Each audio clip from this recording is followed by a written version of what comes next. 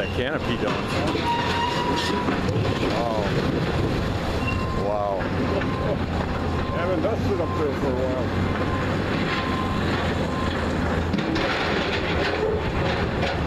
Look at all the trees growing out of the top.